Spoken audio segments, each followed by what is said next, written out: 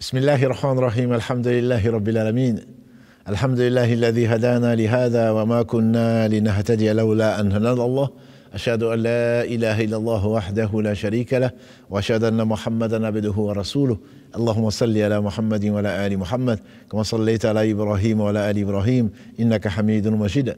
اللهم بارك على محمد وعلى آل محمد كما باركت على إبراهيم وعلى آل إبراهيم إنك حميد مجيد. ورضى اللهم عن الخلفاء الراشدين وصحابة أجمعين ومن تبعهم بإحسان إلى يوم الدين أما بعد. السلام عليكم ورحمة الله وبركاته. Mes sœurs, mes frères, les louanges, les remerciements, les éloges n'appartiennent qu'au parfait. Allah subhanahu wa ta'ala, parfait dans son essence, parfait dans ses noms et attributs, parfait dans tous ses actes qui oscillent entre, d'une part, sa bienveillance, sa miséricorde, sa bonté, et d'autre part, sa justice qui est basée sur son omniscience et sur sa sagesse. Nous le louons, nous revenons vers lui repentant. Nous demandons protection contre les conséquences de, nos péchés, et lui seul en sait le nombre et les tendances de l'âme. Celui que Allah guide, nul ne saura l'égarer. Celui qui est privé de sa guidée, nul ne saura lui montrer le droit chemin. J'atteste donc le seul digne d'adoration. J'atteste de la véracité, de l'exemplarité, de la prophétie de Mohammed ibn Abdullah, qu'Allah bénisse donc ce prophète, l'homme qu'Allah a envoyé comme miséricorde pour les univers, sa famille, ses compagnons et tous ceux qui les ont suivis dans le droit chemin nous fassent l'honneur d'en faire partie. Ensuite, donc, bienvenue. Bienvenue dans ce jardin parmi les jardins du paradis qui évoque notre Seigneur subhanahu wa dès qu'il chante pureté, tout ce qui est dans les cieux, tout ce qui est sur la terre, même si nous ne comprenons pas toujours leur chant. Allah est miséricordieux, nous le savons, c'est le miséricordieux par essence et par excellence. En effet, il a permis à celui donc qui s'adonne à son adoration, qui reconnaît son unicité, un paradis plus vaste que les cieux et la terre. Ceci est accordé aux gens qui manifestent leur foi au travers donc des œuvres du prophète Mohammed puisque c'est la deuxième condition, deuxième condition, donc pour que l'œuvre soit acceptée d'Allah. Lui qui se passe de tout. Il a été donc notre mère Aïcha, quand elle elle nous a dit que le prophète sallam est sorti une nuit, sorti une nuit pour prier à la mosquée, qui était donc accolée à ses maisonnets. Et les gens qui étaient là ont prié avec lui. Et le lendemain, de bouche à oreille, les gens étaient plus nombreux, il est ressorti. Et trois jours après, la mosquée était pratiquement pleine. Et il y avait jusqu'à déborder. Ensuite, la quatrième nuit, il n'est pas sorti. Envoyé comme miséricorde pour les univers, il ne parlait pas de lui-même. Ce n'était qu'une révélation révélée. Il est resté. Et les gens ont attendu, attendu, même tenté de le réveiller, pensant qu'il dormait. Il est sorti de là. Le lendemain, il leur a dit, ne pensez pas que je ne savais pas que vous étiez là. Je savais bien que vous étiez là. Simplement, je craignais. Je craignais que Allah ne vous rende obligatoire cette prière. C'était pendant le ramadan, bien entendu. Et donc, c'était les prières de nuit du ramadan. Ma communauté, ma communauté, ma communauté, c'est ce qu'il disait souvent. Il avait peur pour sa communauté, il cherchait la miséricorde d'Allah pour sa communauté, et il cherchait à la préserver contre la colère d'Allah, subhanahu wa ta'ala, parce qu'il connaissait le mieux Allah. Et donc Allah lui a inspiré, lui a fait craindre pour sa communauté. Et c'est la raison pour laquelle il n'est il pas ressorti. Et donc il a pris un groupe, comme l'atteste également Abu Dhar, Kalalagré. Il a dit que la 23e nuit du Ramadan, le prophète sallallahu alayhi wa sallam est sorti pour prier avec eux. Et la 24e nuit, il n'est pas sorti. Et on le verra, inshallah, dans les vidéos qui parleront donc de, de, la nuit de la nuit de la valeur, qui vaut plus que mille mois. Il est sorti quand il restait cette nuit, donc la 23e nuit. Il a prié avec eux. La, la 24e nuit, il n'est pas sorti.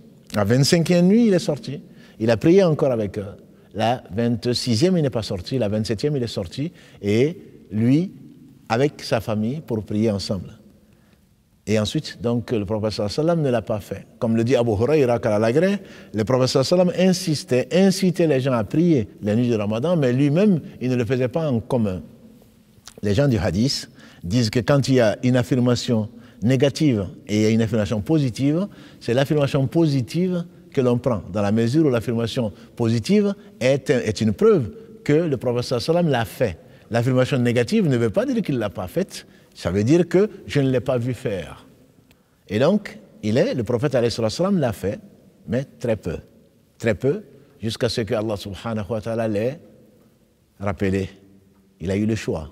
Il a préféré la compagnie, la meilleure des compagnies, celle de notre Seigneur subhanahu wa ta'ala, élevé dans son être, dans ses noms et attributs et dans tous ses actes. À sa mort, la révélation était donc arrêtée. Il n'y avait plus, et il n'y en aura plus, sauf des prétendants égarés qui pourraient dire qu'ils sont prophètes. Sûrement pas ses compagnons les meilleurs hommes que la terre a portés après les prophètes alayhi salam. Abdurrahman, Ibn Ali, Ibn Abdel Qarih, rapporte qu'il était avec Omar. Donc après la mort du prophète sallam, après la mort d'Abu Bakr, Siddiq radiallahu ta'ala le meilleur des compagnons du Muhammad sallam, et après qu'Allah ait chargé donc Omar ibn Khattab, qu'Allah la de l'affaire des musulmans qu'il a tenue et qu'il a exercé de la meilleure des façons pendant dix ans. Qu'Allah lui fasse miséricorde, l'agré, et il est au paradis comme nous l'a enseigné le prophète sallam. Abdurrahman donc nous dit qu'il était avec Omar, qui a vu des groupes dans la mosquée, des petits groupes, des gens qui priaient seuls et des gens qui étaient en petits groupes. Alors il s'est dit, et si je les faisais prier derrière des groupes, derrière, tous ensemble, en ne formant que peu, de groupes? Alors il a appelé Obey ibn Ka'b, qui est l'un des quatre où le professeur Salam a dit si vous prenez du Coran, prenez-le de Ubay ibn Ka'b, de Ibn Mas'ud, de, Salim, etc. Donc il, était nommé, il était connu pour connaître le Coran par cœur et de la bouche du professeur Salam. Il a mis Ubay ibn Ka'b d'un côté, Tamim al-Dari de l'autre, et formé deux groupes qui priaient. Donc euh, il n'y avait pas des petits groupes, il n'y avait que deux grands groupes. Et quand il a regardé ça, il a dit quelle euh, bonne bida. Certains, bien entendu, ont pris cela et mal interprété en disant qu'il y a des bonnes innovations, il y a des mauvaises. Non, les savants sont unanimes pour dire que ce n'est pas Omar ibn Khattab qui va faire une innovation. Il parle là, si c'était une bida, vraiment qu'elle est belle. Et donc, c'est d'un point de vue linguistique, c'est quelque chose qui n'avait pas été fait avant lui. Sauf que le prophète l'avait déjà fait. Il ne serait jamais, il n'aurait jamais osé faire ce que le prophète n'a pas fait. D'ailleurs, le prophète dit Alaykum bi sunnati wa sunnati khulafa ar-rashidin. Suivez ma voie, suivez ma sunna et la, sunna des califes bien guidés. Mordez-y de, en pleine, de pleine molaire. Donc, de toute façon, à supposer même que le prophète ne l'avait pas fait, ce qui n'est pas le cas, il avait fait de façon épisodique, à supposer qu'il n'avait pas fait. Si Omar l'a fait, on le considère ça comme une sunna. Parce que la sunna des khulafa, la sunna des califes, est assimilée à la sunna du prophète sallam. Ce sont les meilleurs hommes après les prophètes. Et on sait qu'Abou Bakr est le meilleur d'entre eux. On sait qu'Omar ensuite, s'il y avait un inspiré dans la communauté, nous a dit le prophète sallam, ça aurait été Omar. Après le prophète, il y a des inspirés. Mais après, s'il y avait un inspiré dans sa communauté, ça aurait été Omar. Allah l'agré quand il marchait, son chétan montait sur le toit de Médine, tellement se dégageait de lui, se dégageait de lui la foi. Son chétan ne pouvait pas être à côté. Et le professeur sallam a dit, Ya Ibn Khattab, quand il a trouvé en train de sourire, quand les femmes se sont enfuies, quand il a dit, il est rentré Omar, il a trouvé le professeur en train de sourire, il a dit que mon père et ma mère soient sacrifiés pour toi, pourquoi tu souris, que ce sourire perdure quand tu souriais, le prophète sallam, et c'était comme une demi-lune. Tellement son sourire était beau. Il était le plus souriant des hommes. salam, c'est comme si je le voyais. Il a dit, c'est parce que les femmes étaient chez moi. Et quand on a dit qu'Omar était là, elles ont tous fui. Il a dit, ennemi de vous-même. Ennemi de vous-même. Pourquoi? Vous n'avez pas peur du prophète vous avez peur de moi. Et ils ont dit, oui, le prophète lui, il est gentil. Sous-entendu, toi, tu l'es pas. Et le prophète a souri. Il a dit, Ibn Khattab, Jamais tu n'as pris un chemin si Satan n'a pas pris un chemin inverse. On rapporte de lui plus de dix versets où il a anticipé la révélation.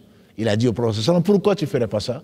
Et ensuite, Allah a révélé ces versets-là pour confirmer les paroles de Omar, qu'Allah a tous les compagnons du prophète. Le tarawih, donc, vient de là, le fait de prier, de s'arrêter, de prier et de s'arrêter, de se reposer un peu, ce qu'on appelle tarawih, qui est caractéristique des prières de nuit du ramadan. سبحانك اللهم وبحمدك أشهد أن لا إله إلا أنت أستغفرك وأتوب إليك سبحان ربك رب العزة أما يصفون وسلام على المرسلين والحمد لله رب العالمين والسلام عليكم ورحمة الله وبركاته